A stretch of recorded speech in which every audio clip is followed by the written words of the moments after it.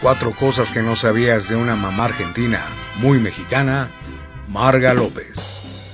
Número 1. Catalina Margarita López Ramos nació el 21 de junio de 1924 en San Miguel de Tucumán, Argentina, y murió el 4 de julio de 2005 en la Ciudad de México. Número 2. Junto con sus seis hermanos, Juan, Miguel, Dolores, Pedro, María y Manuel, Marga debutó en Tucumán con un grupo conocido como los Hermanitos López.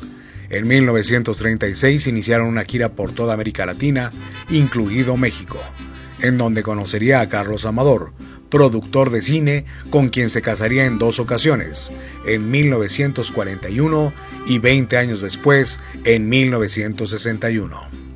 Número 3.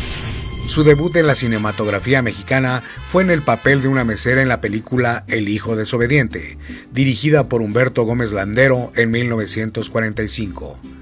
En 1959 compartió la pantalla grande con Rita Macedo en la cinta Nazarín, de Luis Buñuel. Número 4.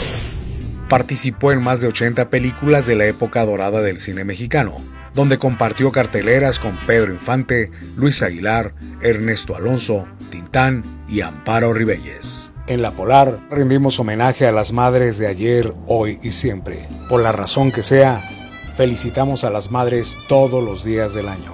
Felicidades mamá.